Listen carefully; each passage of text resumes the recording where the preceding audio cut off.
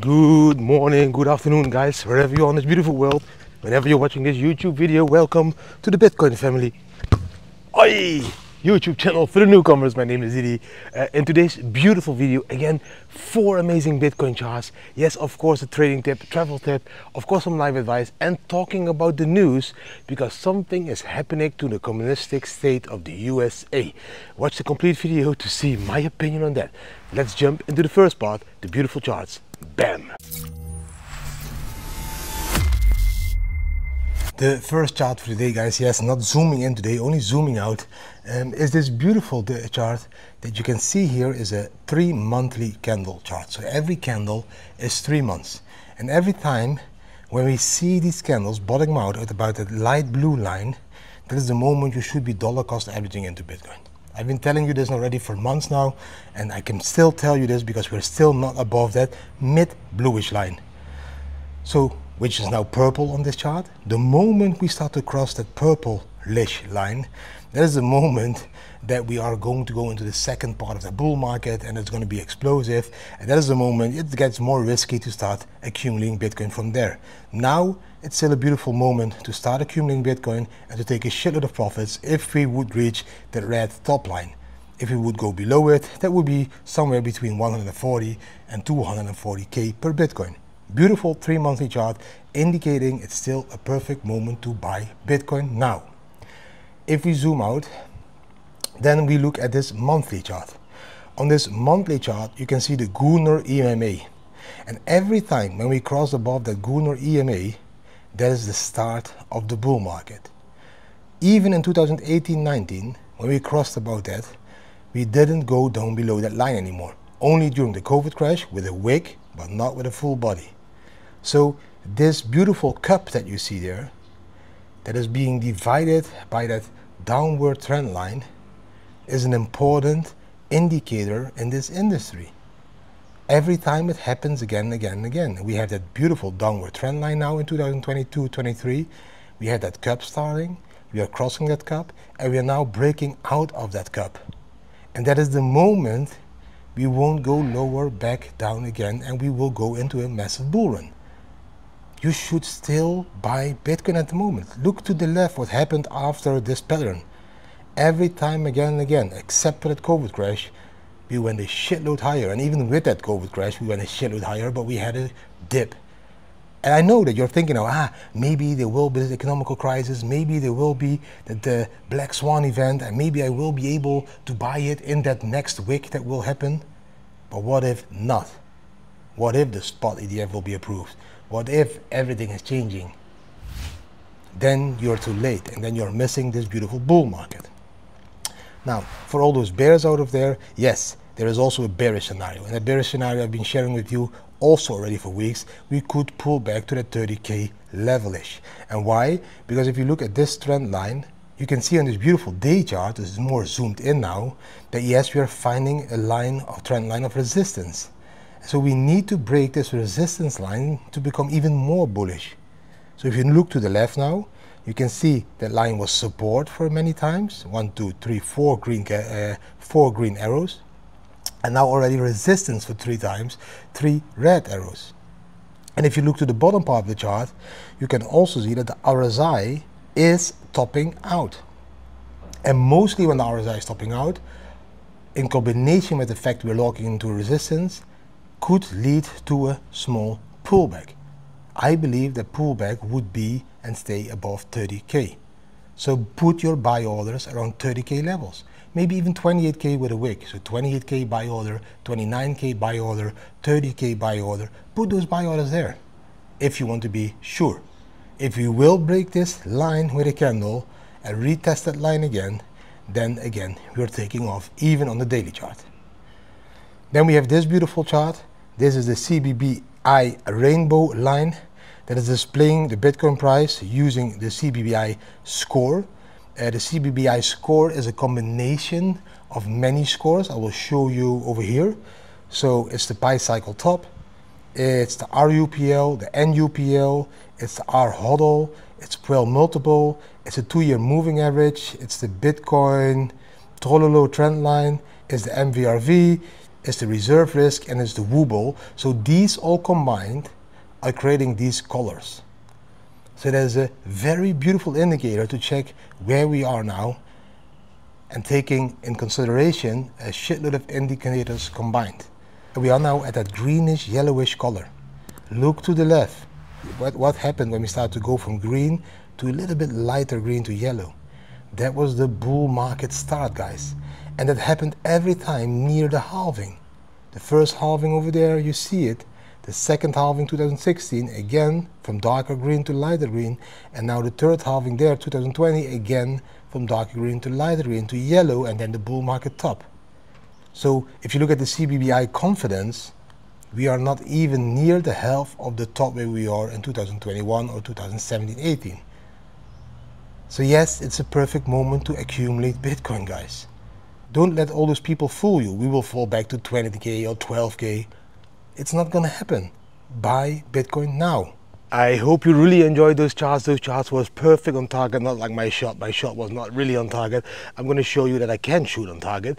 But the charts are showing us again, this is the part of the bull cycle, the pre-bull cycle run, that you need to start accumulating Bitcoin. It's not too late yet. We are still below 40k, so you can still double or even triple your capital by getting into Bitcoin now. If you're not buying Bitcoin now, I don't know anymore when you want to buy.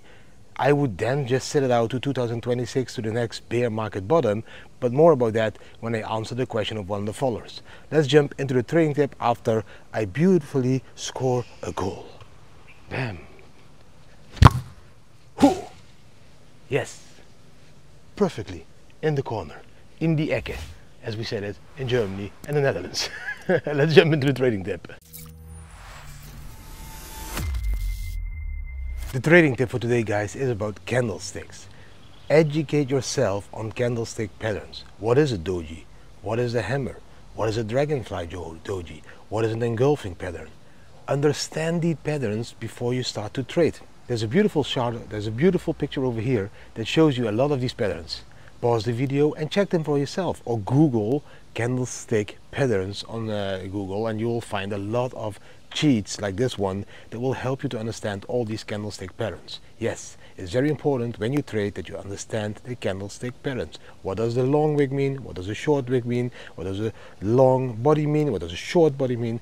Do understand it before you trade. I'm to score another goal now. Left outside foot. Bam. Yes, also go. It's as simple as that. Easy, easy peasy. That's how I trained every day again, again, again to become a good footballer. Now you need to start training every day and a day and a day again to become a better trader. Let's jump into the travel tip. The travel tip for today, guys, is a very simple one. The travel tip is about meeting the local people.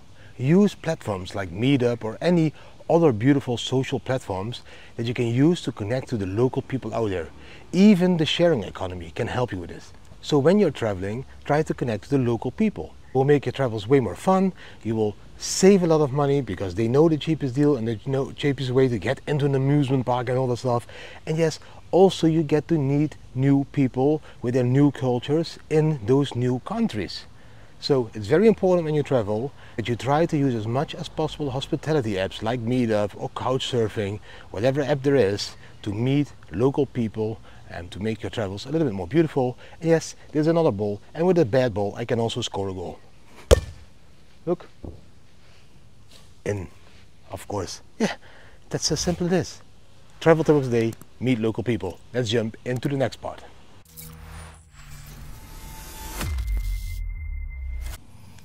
The news is that a black cat is watching me. No, that's not the news, guys. The news for today, guys, is very worrying news. In the United States, the land of the free, I don't believe it's the land of the free anymore.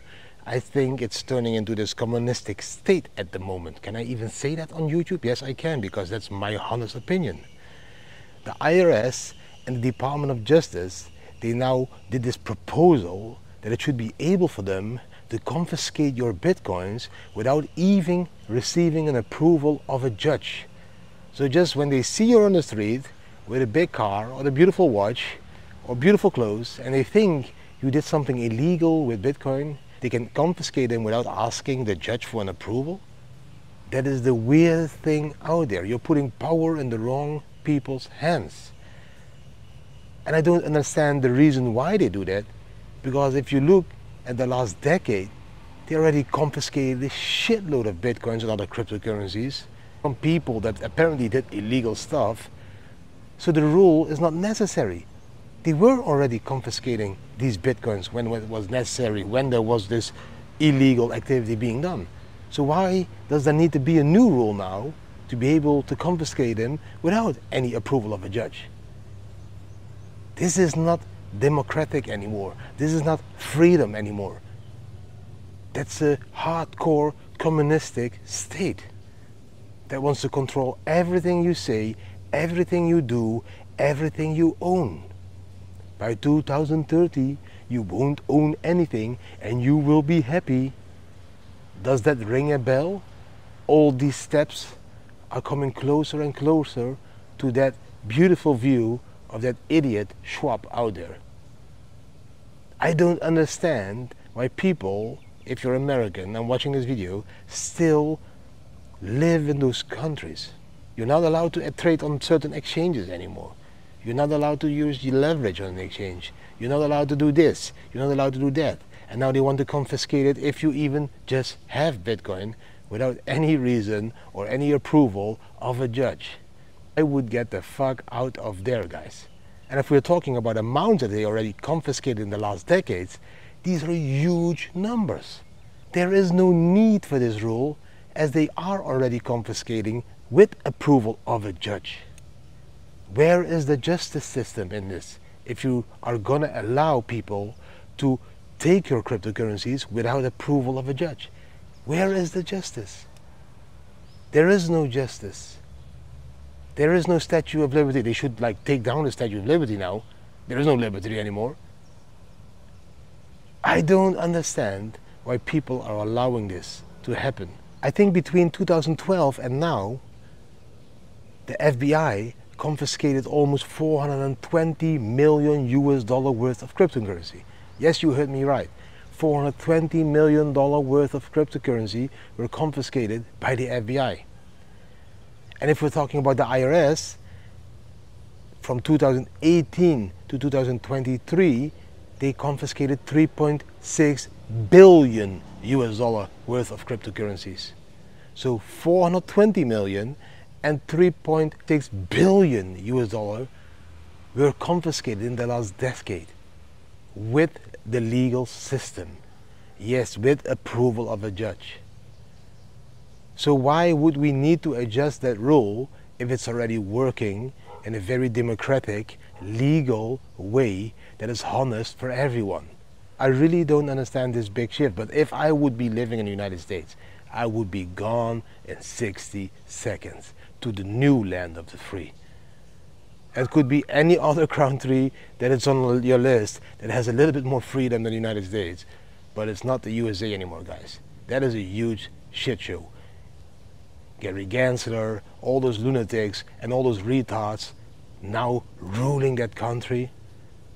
It's not about Bitcoin. It's not about cryptocurrency. It is about fighting against freedom.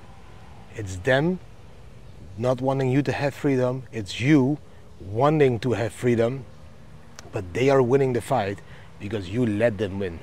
And as long you use their currency, the US dollar, they will be in control. The moment you start to use our currency, they will lose control. But you keep supporting them by using the dollar, by paying tax in the dollar, by putting everything you own in dollar on their bank accounts. And they use that money to control you tremendously. And because they know that they have the power because they control that monetary system, they don't want you to have cryptocurrency because what would happen if you got a little bit more power? If you got to live in a beautiful, peaceful, anarchistic state instead of in a communistic state. That is not what they want. You need to stay poor. You can't get rich. You can't have or own bitcoins because you will become rich. And if they can't take it in the legal way, they will now take it in a very simple way because they don't need any approval of a judge anymore. It's not about Bitcoin, it's not about cryptocurrencies, it's about freedom. They are taking away your full freedom. And you should stand up and not allow that. It's a collective fight. It's a peaceful revolution that we are all fighting together as a Bitcoin community. It's not about money, it's all about freedom. And not just about money, it's also about freedom of speech, freedom of acting, freedom of indeed also using your money whenever you want, wherever you want on this beautiful world. It all comes down to freedom. And I think Bitcoin and blockchain are the perfect tools for us to keep that freedom and to pass on that freedom to the next generation, my children. They also want to live in a free world. They don't want to live in a world where they are like monitored 24-7 by cameras if they crosswalk wrongly or if they do something wrong, which is now really normal, their cryptocurrency is confiscated without any trial. That's not freedom. That's fucking prison, a communistic prison. Let's stand strong and fight this fight together and just fight those people that now want to disrupt our freedom. And we can fight those people that want to disrupt our freedom by disrupting their monetary system. The moment we use our currency, we will come in control. If we keep using their currency, we are not disrupting their monetary system and they will stay in control. That was the news for today.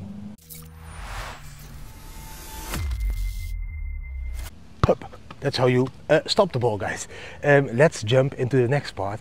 The next part is answering the question of one of the followers. It was a very good question. The question was, Didi, if we are at the bull market top, let's say 2025, would it be a valid move to do a short from the top all the way to the bottom? Of course, that's a valid move. But his question is, will then the fees eat up your profits? I don't believe that the fees will be eating up your profits because the bear market is always a bear market of 12 months. So every bull cycle ended with a bear market of 12 months. So from the top to the bottom took only 12 months. So the fees will not be eaten up, I think, in that short period of time. But you need to do a low leverage short from the start and the moment you get more bullish, when the Bitcoin price starts to crash, crash, crash, you can increase the leverage and the amount. But I will always start with a low leverage amount because the possibility of a double top is always there. So you're shorting it with a huge leverage, with a huge liquidation possibility. We come down, like in 2021, bam, and we end up again for a double top, then you're gone. So I will always start with a short, but then with a low leverage short to see how it does, and then start to increase that position bit by bit the more we go down. The fees won't eat up that short. For example, I had a long open for over one and a half year because I was going long, By Bitcoin price crashed, I was at a liquidation point of 12k in Bitcoin, so I kept it open. I'm like, it's not gonna fall to 12k. So I kept it open for one and a half year till two or three weeks ago when we went above 34k again and then closed my long still in profit. The fees were something like $200 or $300, but the profit was way higher because it was a big position. So you just make sure that you start small, start to increase your position, start to increase the leverage, the more bullish you get. And then in the end, you take a shitload of profit at the end of the bear market, where you buy back a shitload of bitcoins again, also with all the spot bitcoins that you sold at a beautiful price. You start a dollar cost average again around 2026, 2027 at the bear market bottom. Uh, that is my answer to your question. I hope you like it. If not, comment down below again. Uh, the life advice for today is a very beautiful life advice. I think it's very important for everyone out there to now and then take a risk. By taking risk, you grow as a person. Do try to take that risk and step outside of that box that you're living in. If you never take a risk, life can become very boring. And you always need to look at the both outcomes of that risk. You have a positive and you have a negative outcome. But that negative outcome might not be as negative as you think. And then when you get convinced that that negative outcome is not that negative at all, you can allow yourself to take that risk. And, these, and those risks that you take will make you grow as a person. You will become more confident on taking these small risks in life because they will lead to the adventures. They will lead to the unknown. They will lead to that thrill feeling that everyone is searching for. So never stop taking risks.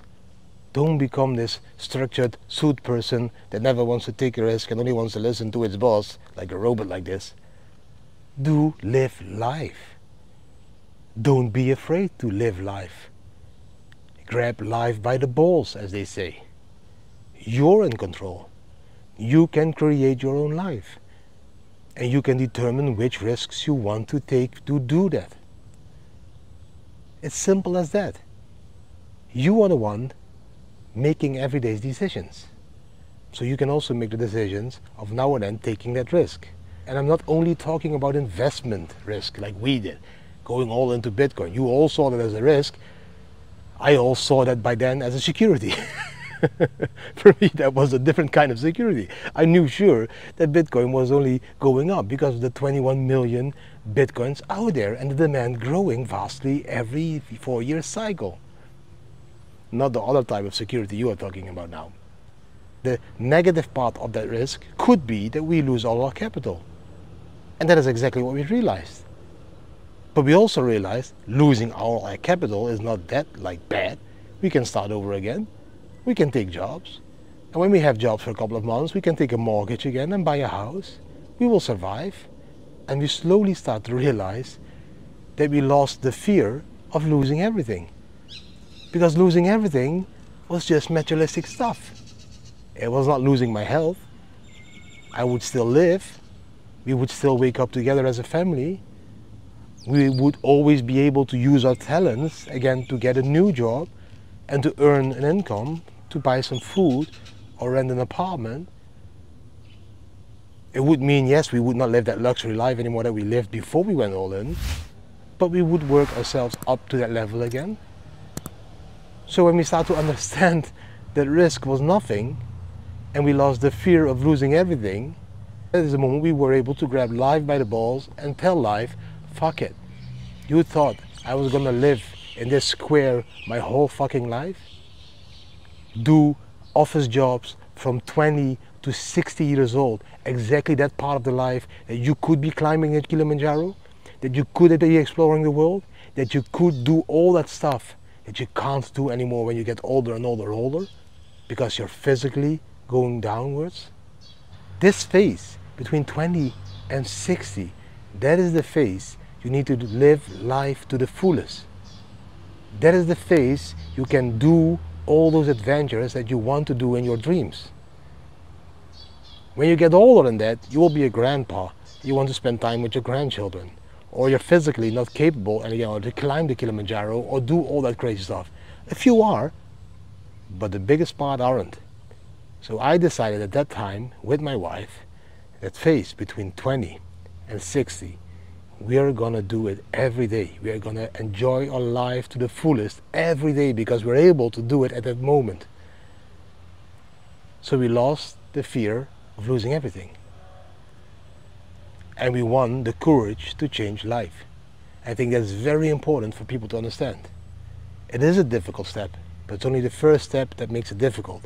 When you take that first step, when you open that closed door and you walk through it, and you start to allow your guts to tell you what to do, that is the moment everything will change automatically for you. And you will slowly lose the fear of it becoming a disaster. And you will gain the trust in it becoming a beautiful adventure. And then it will probably end the same way it ended for us.